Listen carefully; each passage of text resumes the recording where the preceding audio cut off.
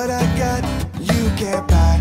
It resides between my eyes. Walked through the fire, came out better on the other side. See, life's like a beach if you find the right now. I feel like a hundred grand. You are listening to Inspired Insider with your host, Dr. Jeremy Weisz.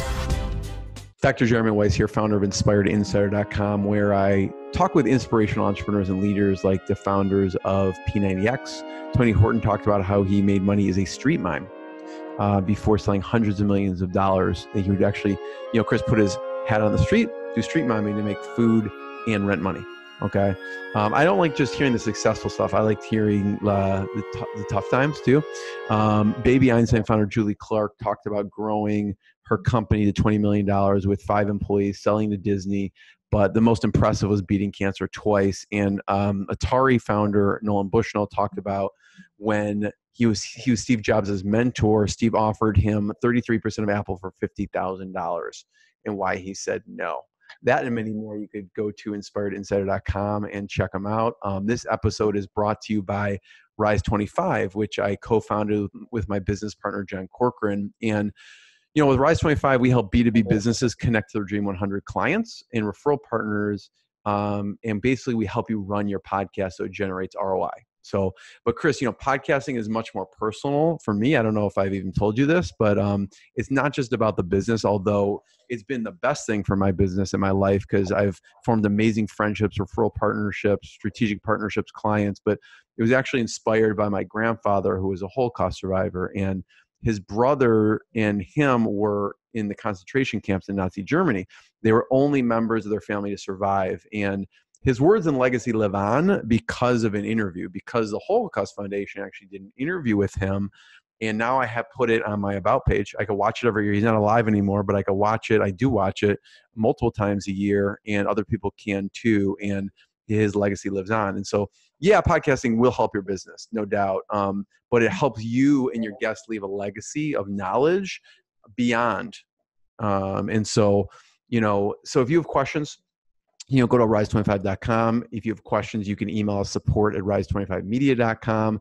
I believe if you have a business, you should have a podcast, period. Just like Chris believes if you have a business, you should be taking care of your SEO and rankings because that is the lifeblood of your business. So check it out. I'm excited to introduce today's guest, Chris Dreyer, who's the founder of rankings.io. And, you know, his company helps elite personal injury firms land serious injury and auto accident cases with Google search.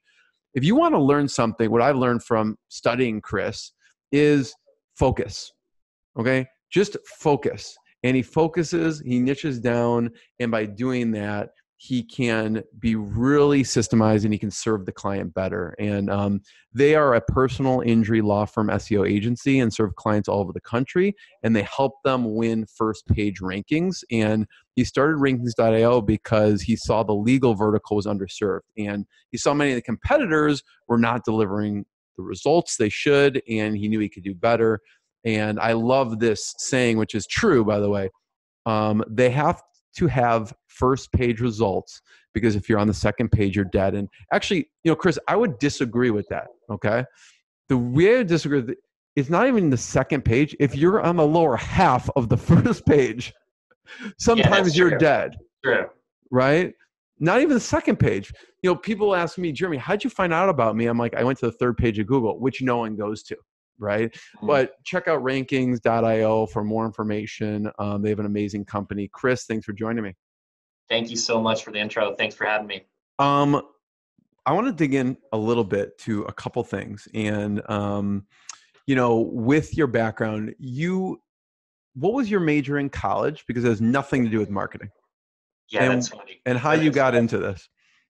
So I actually have a history education degree. And what, what were you thinking you were going to do? in college? I, I was going to coach sports. I was going to coach college sports. You were. So that was kind of.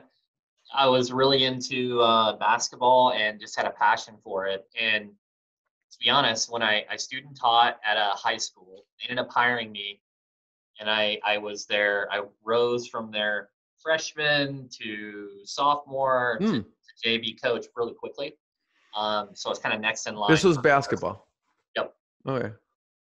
And basically how I got started was I was in the detention room, the room that they, they sent the kids that got into trouble. Uh, they had to stay an extra hour after school. And I, there was just nothing to do. Um, it was just kind of like, you know, just taking care of these kids. And I Googled how to make money online, as cliche as that is.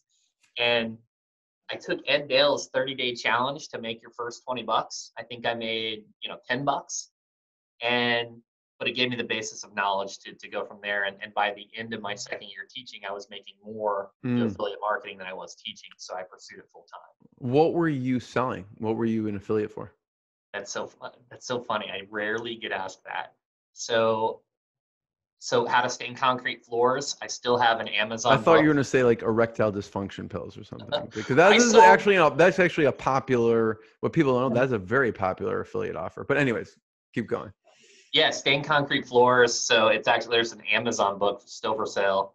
Um, I also did the acai fruit. I did. Let's see. Um, I sold generators. I sold. Uh, I had a site that ranked number one for double chin. So I sold uh, really? stuff to lose weight. Yeah. Alcohol withdrawal. So um, I had a site that ranked number one for alcohol withdrawal, alcohol poisoning. That was like more Google AdSense, but So were you think a lot of building the sites, getting them the rank? What was your methodology at the time? so at the time, if you had your, you know, your your white hat good guy, you know, your middle gray hat or your black hat tactics, I was more on the black hat side. So it was more buying. If it's, if it's going to get in trouble, do not, do No, not no, say it. Oh, no. okay.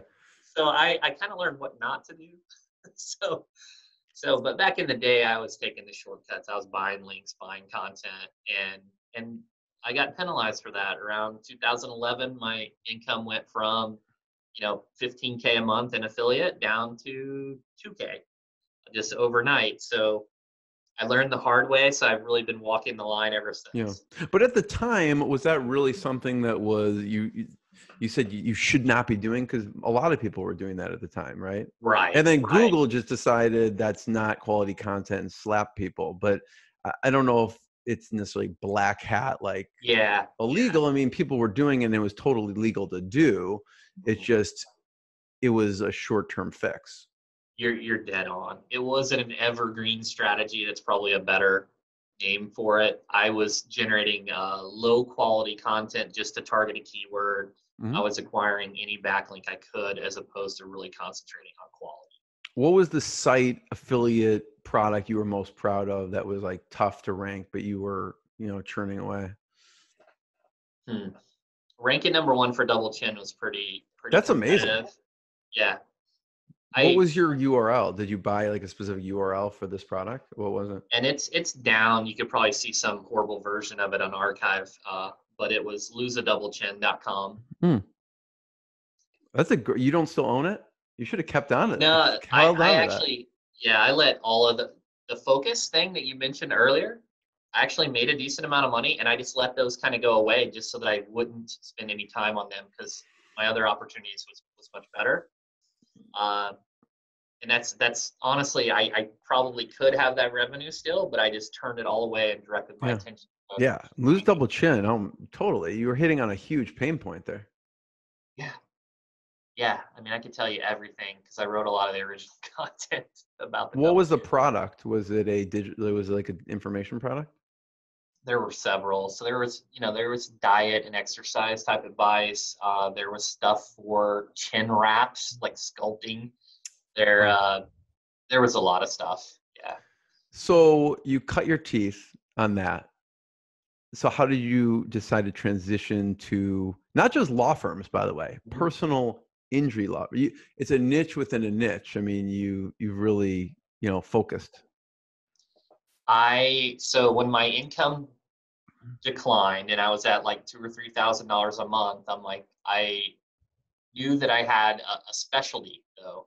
Really So- quickly, because did you quit your job at the time? At what point did you decide to quit and do full time? Yeah, that's kind of funny. Um, I quit my second year of teaching, and then I got paid that whole summer. So I had my affiliate income plus my teacher's uh, income. I even took that that teacher's retirement money through a big party. Got to know people um, that I was getting mentored by. but- Retirement party. yeah, it was really funny. After two years, um, people hated you because of that.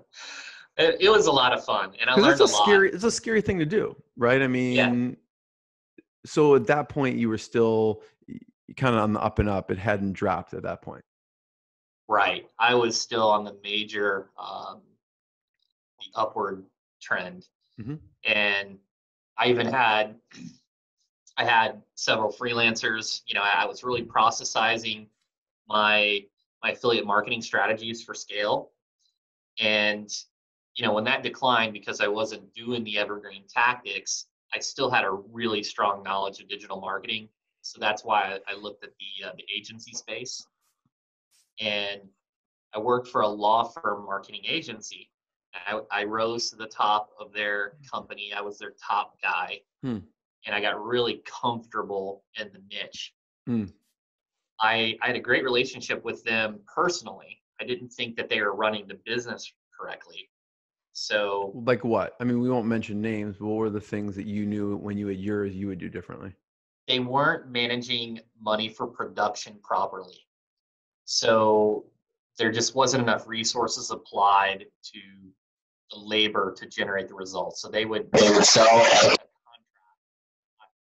allow enough resources to give the best chance to succeed. what else did you see that they were doing that you knew you'd do differently They weren't focused on reinvesting into operations and training. hmm So just a lot of basic business principles, you know, operations, processes, training, you know, continuous improvement. They weren't focused on that. It was more of a sales organ, uh, sales focused organization, bringing in the revenue, not taking care of the existing clients. Um, and I just, so when I started rankings, and still today, we have one sales guy, we have one marketing guy. Everything else is applied to generating the best results we can for our clients and Right. using those results as momentum for referrals. What do because people say what do your clients say they like about you in the business? I one um watched one video and they one person said I love they just call me back immediately, you know, within a few hours. Uh, what are some other things that you you know because that will kind of put a light on what you feel is important probably because it's showing up on what they like. Yeah, so you hit one of the first significant differences in our organization versus others. Is a lot of times uh, communication and production are all in under one function. I separated account management and operations, so it's clearly defined that these are your communicators. This is these are the individuals that do production. And I didn't want the people that were talking to the individ the clients to also do production because they have their head down, so to speak, only concentrating on doing the work and not necessarily up looking for opportunities in a strategic manner. Hmm. So, and that also allows us to better serve the client uh, with faster response times because that's that person's sole job is to keep the client informed and, and to lead them in the project. how do you manage client communication because i imagine clients communicate via email phone text and now like other means how do you you know i won't say train the client but how do you want them to communicate with your with your team so you can do a better job and and serve them So it's funny. In, internally, we say, and I, I think our clients would laugh at this, but we, we have our teach our clients not to be crazy. And what we mean by that is just really setting expectations early. This is how long it's going to take to generate results. This is what we need. This is this is how you can help us. And we set all of these expectations up front in a 100 day experience. Hmm. We got this from Joey Coleman, Never Lose a Customer Again. And in terms of our communication preferences, you know, a lot of it's still driven by email, but we also incorporate video, we incorporate text messaging, uh, in some cases, uh, Slack or Google Chat. hmm And then we do regular cadences for uh, consults.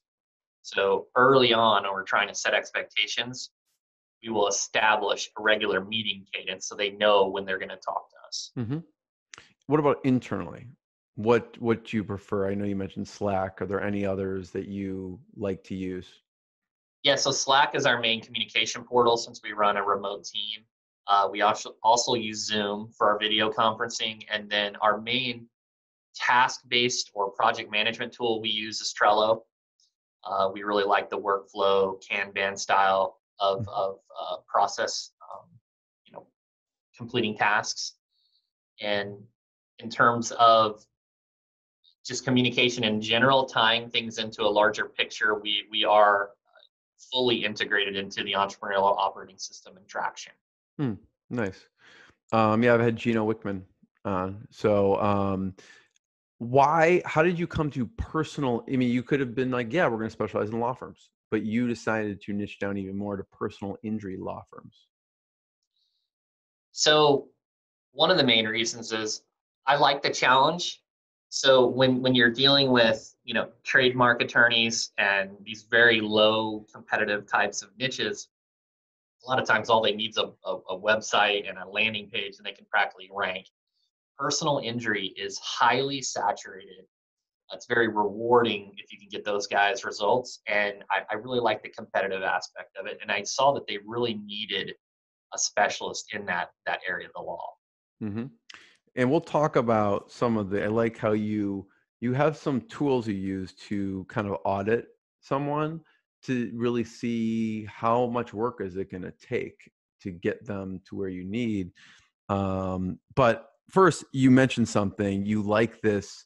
Most people will be the opposite, right? I want to go into something that's you know needed but not as competitive, and you go right head on with the most competitive. And and um, I, you know, you can correct me if I'm wrong, but I want to hear some of the lessons you learned from your dad because you quoted him saying, um, "Always play the game to win." Right? Yeah, that's it. It's it sounds kind of like Ricky Bobby, right? um, but losing is not fun. Winning is. Yeah. Winning is rewarded. So when we encounter a challenge, we we go all in. Um, that's how I was brought up. Even simple games like Yahtzee, it's it's it gets almost annoying where we're doing the math and which properties to buy in Monopoly, the orange properties, and um, very math based. But that's how we've approached. That's how I approach sports. That's I was a a collectible card game player, similar to Magic, one of the top players. Same in poker. Um, it's just just focus, and I like to.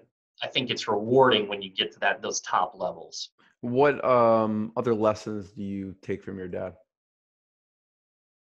Lessons. So consistency, um, compounded consistency. I mean, you can't just show up and expect it to be good. I mean, it takes a lot of work. What did he do? Does? So just just things. So so he was a mail carrier um, for the U.S. Post Office. He's retired now. Um, very excellent sports um, and just just very organized and systematic. So just things like basketball. You know, a lot of times when individuals join a basketball team, the only time they're going to practice is when the coaches tell them to. Whereas we would practice every day Hmm. you know, every day, Saturday, Sunday, maybe not a long amount of time, but it just took the work um, to get to those higher levels.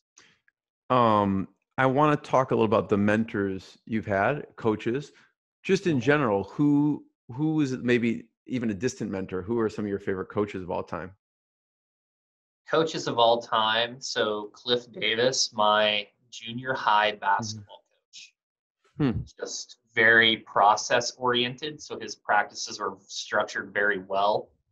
He was definitely a leader, and he took that consistent approach. Um, you know, and it was very rewarding. We were actually we had some great teams because of how he he led. Mhm. Um, he's one that definitely stands out. I had a great high school basketball coach that had a very good physical fitness type of um, uh, off, you know, Good off season regiment. program. Yeah, I'm like in arm's reach. Like one of my favorite books of all time. If if anyone's watching the Oh, yeah. video, is Wooden, um, a lifetime of observations and reflection on and off the court. I mean, this is this is one of my favorite. You could see those like notes coming out of it. Like I read this at least once a year. practice the fundamentals. Yeah. Yeah. Um, what about mentors or coaches in business? I know that you take, you know, you take this very seriously and you have mentors in that too. So my uncle was a CEO of multiple major corporations. And he was one that I always like looked up to and aspired. Term, you know, originally when I got started, I talked to him, but I would say my first mentor was actually my sister. Uh, my sister and my brother-in-law, they run a 30 to 40 person plumbing company generating mm. seven to eight million dollars a year. Um, you can't quite see it, but up here, I was a Vistage member for three years. Mm-hmm. I have uh, I'm in Jason Swenk's mastermind, so I, I have like-minded peers, digital mm-hmm. marketing peers. Mm-hmm. I also have an executive coach, Carl Sakis, who's amazing. It holds me accountable because once you're the owner, you're the you're the main person that holds you accountable. So I have someone else now. And then this counts another sounds kind of cliche or cheesy, but I, I really enjoy getting a lot of knowledge from business books. And I know you read a ton yourself. And, you know, I read 50, 60 minimum yeah. books a year uh, about business only, not, you know, not fiction, just, just all business yeah. books. What are some of your favorites? I'm, uh, I, I need, I have four credits for my Audible queue. So yeah, what, uh, yeah. what are your uh, favorites? one I find myself reading multiple times is Ready, Fire, Aim. Mm, Michael Masterson, yeah. Yeah, I love that book. I love. Uh, I just one read one recently. Uh, Atomic Habits was excellent. Hmm. I uh, the Ultimate Sales Machine. I know it's an older book. Uh, Chet Holmes. oh yeah, totally. Great one. Pricing Creativity. Blair Enns. Business of Expertise. I printed out the Ultimate Sales Machine. I bought it TDF and I printed out and put it in a binder. Yeah, so every time I read it, I find one uh, just a little nugget that's that it's just excellent. And you know, David C. Baker and Blair Enns, I really like their stuff. Um, what is, what is their book? I don't, I've not heard them. So Blair Enns did Pricing Creativity. Mm-hmm. He also did Win Without Pitching Manifesto. And then David's main book was The Business of Expertise, which really talks a lot about the advantages of niching. Okay. Nice. What about industry wise? Um, conferences in the industry um, could be in the you know personal injury law firm or or whatever. You know, just stay on top of the the trade. So the one that I've been to the last two years is the Game Changer Summit. That mm-hmm. is Michael Mogill's conference. Uh, Crisp Video. It's an excellent conference. They do a lot of team building, but they also do a marketing. Uh, have a lot of great speakers. Chris Voss. Um, mm-hmm you know, a, a lot of the big players. They had Gary Vee there. In terms of personal injury attorneys, I the other conferences that I hear are good, but I, I don't go to a lot of conferences. Are uh, Mass Torts Made Perfect and National Trial Lawyers Association. Mm. a good event. That's a must for personal injury law firms. Yeah, Mass State Torts Made Perfect is is one that's really incredible in Vegas uh, that I hear a lot of good things about too. Nice. Now, from the you know the auditing standpoint, I, I like you know you have a very um, systematic approach. It's like okay, you have this law firm. Here's what we charge. You don't necessarily do that. You actually have this process where you walk through, and so you give them a real specific, kind of detailed approach. Talk a little bit about what you do there. Yeah, so I mean, it's kind of mirroring an attorney, right? An attorney doesn't go to trial without doing a discovery getting all the information about the, the case. Like a lot of times these SEO agencies will just one call close and sell you on a two or three thousand dollar contract without knowing anything about what it's going to take to get results. So we do what I call a full SEO discovery, where we are going to diagnose yeah. everything uh, in regards to SEO. So it's not just an SEO audit where you're auditing a website. We do competitive backlink analysis. We review content. We review their assets uh, for social proof, and and we look at their top ranked competitors and what they're doing well and what, what you know any opportunity that we can use as leverage. We try to discover um, in this diagnosis. Yeah, that's super valuable for a company for you to go through that. How do you decide to to charge for that? So that's the tricky part with SEO, right? You know, PPC and these others are very, it's very data driven. You can spend X, get this amount of cases. Yeah. The way I mean, I just mean even the front end one, like actually you presenting that to them. yeah, I mean, we charge five thousand dollars for this diagnosis, this SEO discovery, and I can tell you that that we're not making any money. We're losing money on this initial. Yeah, it's a lot so of if a work. client didn't proceed further, it you know, it's a loss leader by all definitions. Yeah. But to me, it's important that we understand the ins and outs of what this client has, you know, and it lets us set realistic expectations. You know, if you're in a major metro and you're you, oh, you're a solo in Los Angeles and you want to rank on the first page for car accident lawyer, it's going to take a heavy investment because you have no brand, you have no prominence can help, you know, no mentions that we can use as leverage. But if you're an established brand, established firm, maybe you have some assets that we can use to get you there quicker. Do you find that lawyers or law firms or some are sophisticated enough to use some of those tools, not necessarily to execute on what you do, but just to see what's going on, or do they do they not even realize there's some of these tools out there? Oh yeah. So the larger firms, a lot of times what we've encountered is the owners are more that, you know, in the DISC personality assessment, they would be more the DI drivers. A lot of times they hire that an internal process analytical person to strategically communicate with the vendors that they hire. Um, and many times those individuals, those directors of marketing, those CMOs, those uh, the, all different types of titles, technology directors, those individuals are familiar with those tools. You know, Chris, as you get more and more specific and niche, you can produce better results, which means you could charge more. Um, tell me about the pricing evolution you've gone through. You know, in the very beginning to to now. Um, obviously, it's probably changed a little bit. Yeah, yeah. So I mean, there are three basic models that you'll see. So the, the first one will be your in, inputs. So a an agency will charge you per hour. They'll have a per hour rate. So it's like a capacity type setup. The second would be output. So it would be like units, like X amount of content, X amount of articles. And then the the last is more results or value. Okay, so you want to get that first page result. What are you willing to pay? What's it worth? And then that, with that model, it's a little bit harder to sell.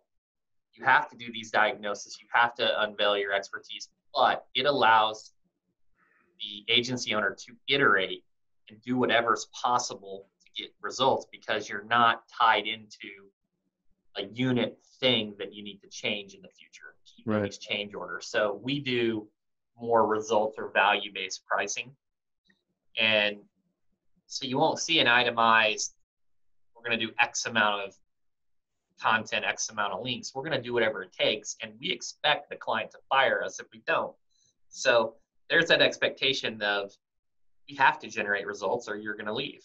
Uh, It's Mhm. not, we're going to put you on this low retainer and keep you forever. on that, um, let's just say in a personal injury law firm, I don't know what an average client case is or something, but let's just make it up. And, you know, Mhm. let's say it's a hundred thousand dollars or something.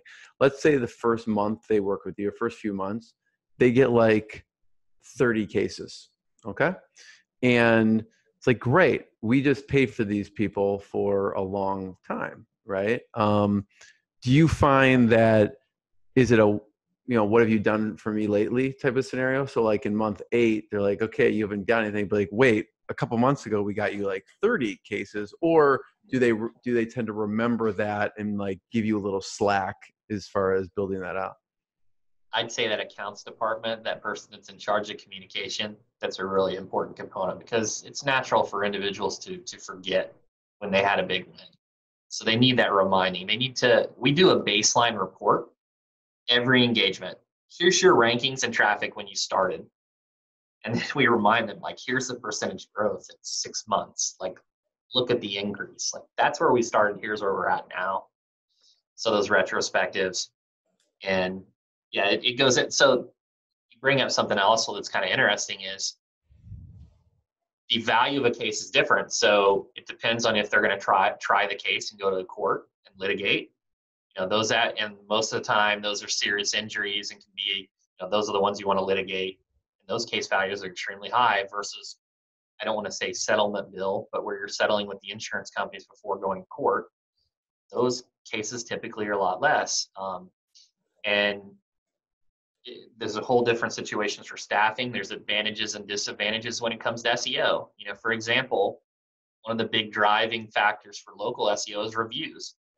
Well, if your case selection is so tight where you only work with these major injuries, the amount of cases you're closing is low, so you have less chance to get reviews versus someone that's taking the minor injuries and really settling a lot of cases. They can get a lot of local reviews to help their SEO. Mm what are you know speaking on that for a second i do want you to tell there's a story about your biggest client a couple years in i'll have you tell that in a second but um, for any local business you know like plumbing company your sister and mm-hmm. brother-in-law right i always knew plumbing there's i mean like if your toilet doesn't work you'll pay whatever amount of money to to a plumber to fix that thing you know right. so but um what are some uh, you know tips that other local businesses could be using that you use obviously in the most competitive one of the most competitive niches? I mean i i would highly recommend anyone looking for an seo agency to do some form of diagnosis or audit before any engagement is pursued. You know it's it's essential to have the strategy first you know pareto pareto's principle you know the 80 20 uh, you know strategy is one of the most important components. And that's what I would say. It wouldn't matter if it was plumbing, home services, physicians. It would be to do a full discovery and analysis 1st mm-hmm. And any particular tools people should look at that you like? So, my favorite SEO tool is ahrefs.com. I also like SEMrush. I think those have uh, they're pretty versatile. They do a lot of things. I think Ahrefs is a little bit more intuitive, a little bit easier to use. And but both of those tools are phenomenal. They can give you a lot of competitor insights to help you make decisions uh, with your SEO strategy. Um, biggest client a couple years in. What oh, happened? Oh, so that's funny. So I remember I was working from home, but you know, my my biggest client, it was like the, the end of year one, and you gotta you gotta you know, I know I hear a lot of stories where people sign hundred dollar and five hundred dollar clients, or or they traded coffee subscriptions and things. My my biggest was thirty five hundred a month, and I remember that he wanted to meet in person before he did it, so he he said, "Hey, let's meet at a halfway point. We'll just, you know, hit up a restaurant. Well, the town that he picked, there was literally nothing. There was a gas station, and it was had one of those gas stations connected to like a Hardee's. So I went in, and it, there was like stuff all over the floor, and I'm just like, "What am I gonna do?"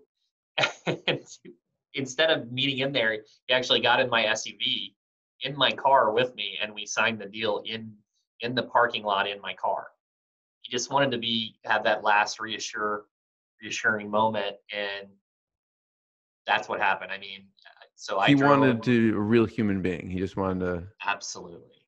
Yeah. What um, about now? What does that look like now? Because obviously you probably you have clients all over the country. Is it less some, is it less frequent that people don't care about that as much because of like technology of just going video chat or do you, do you find people still want that you to show up in person at some point? It's very rare that they want to me to show up in person. In fact, I can't recall a situation in the last two years that was the case.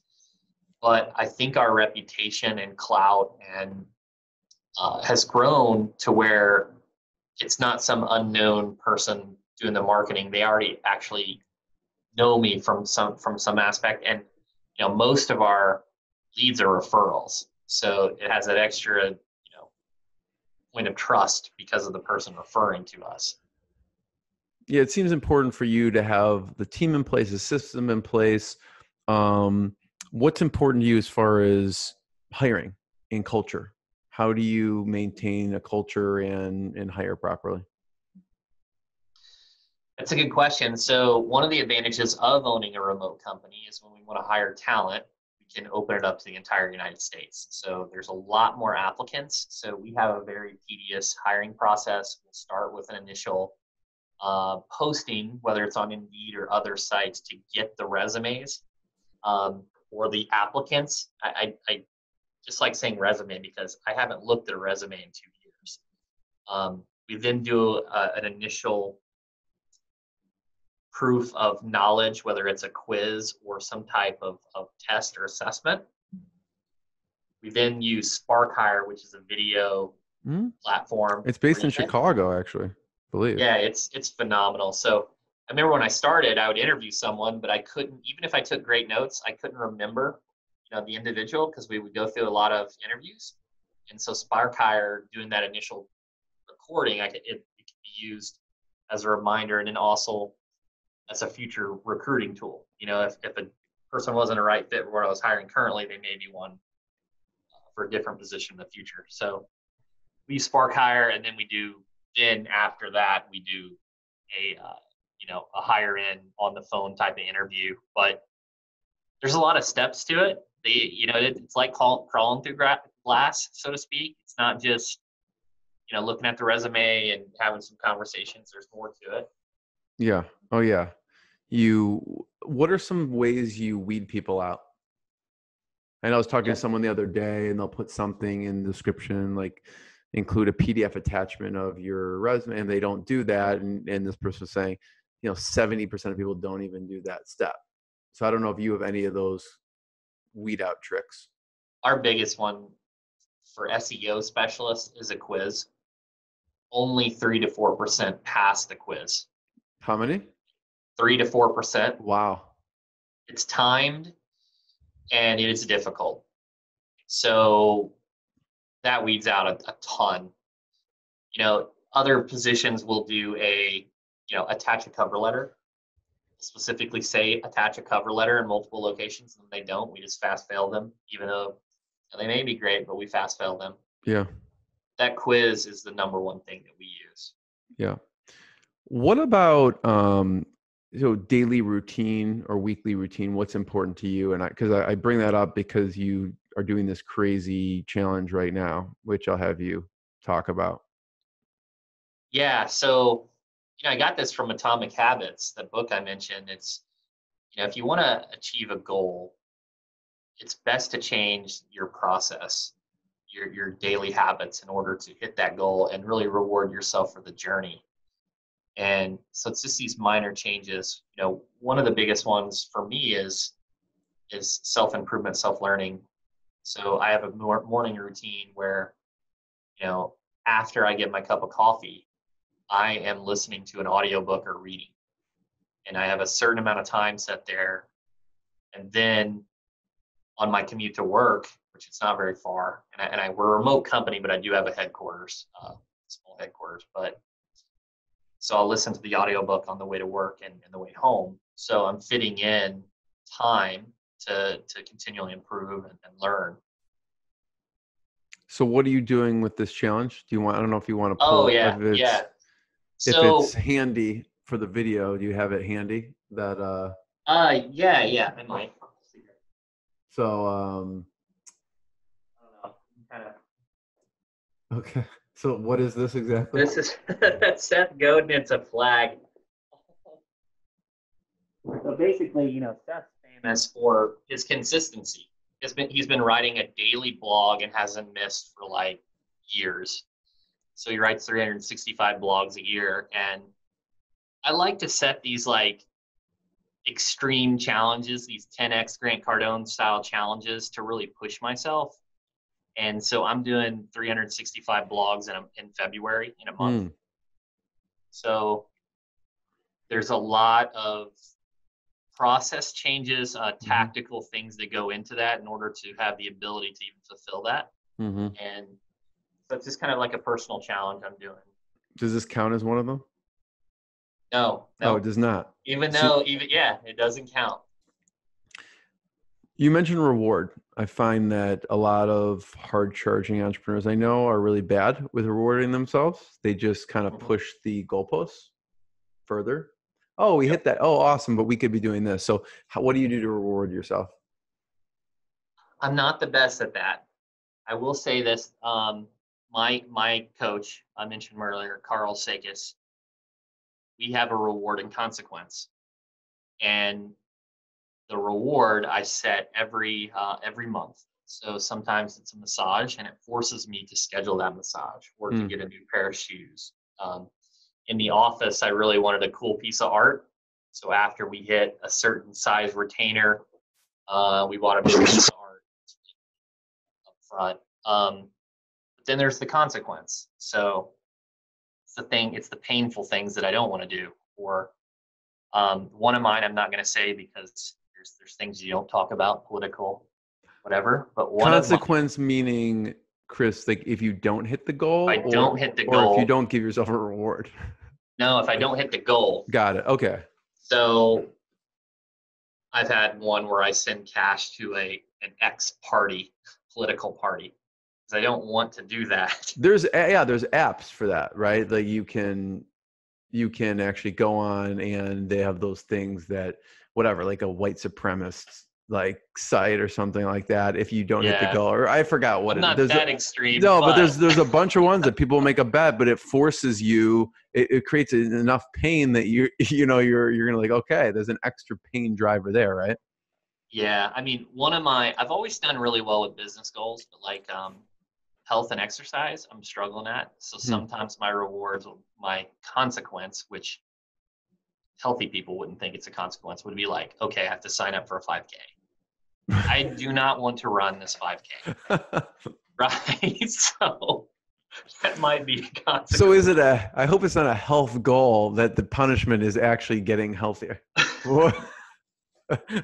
no, but Okay. sometimes it's stuff like that. I mean, I try to get a. I'm trying to improve my healthy habits, um, but there's some things like it may even be, you know, I had a personal trainer and you know I'd work out three or four times a week, but there are certain exercises that are good for you. that I just don't want to do, like deadlifts, right? So it'd be like, okay, it's it's it's a negative, it's a consequence, but it's still good for Yeah.